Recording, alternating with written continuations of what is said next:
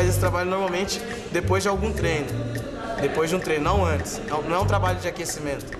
É um trabalho de finalização de treino. Porque você já está cansado, entendeu? E você faz esse trabalho para quê? Para que seu gás cresça, entendeu? É bom fazer isso para soltar o corpo, entendeu? Para trabalhar o corpo mais solto, porque o jiu-jitsu é uma arte solta, eu não posso ficar travado. Tem que estar tá solto. Então a gente faz esse trabalho para trabalhar o pulmão, gás, entendeu? A movimentação e o pensamento, entendeu? A cabeça. Você vai criando, entendeu?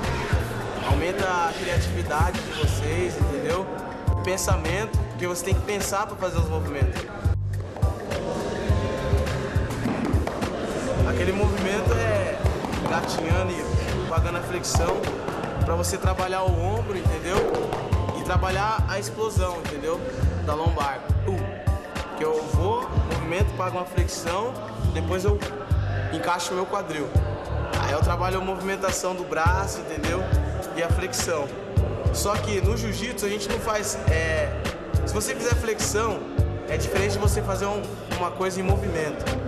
Então no jiu-jitsu, eu não, nunca faço a força igual, um lado só. Eu sempre faço uma força variada, entendeu? Um braço para um lado, um braço mais, um braço para cima, outro para baixo.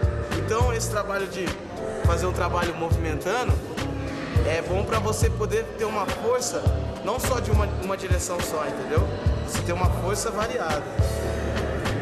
Então, esse exercício de você ficar quebrando o quadril para um lado e para outro, botando o joelho e a bunda no chão, tem que encostar o quadril no chão. É um trabalho que você trabalha o alongamento, entendeu? Da parte superior da coxa, entendeu? Pum. Cai para um lado e para o outro, para um lado e para o outro. Isso ajuda na coordenação motora do, do atleta, entendeu? E do praticante de jiu-jitsu. E isso ajuda muito a soltar o quadril. Que no jiu-jitsu o quadril é tudo, né? Então você tem que ter o quadril solto, certo? E existem vários trabalhos para poder soltar o quadril e esse é um dos trabalhos. É, esse movimento é para trabalhar a ida para as costas, né? Quando você entra na perna do cara, o cara dá o sprawl.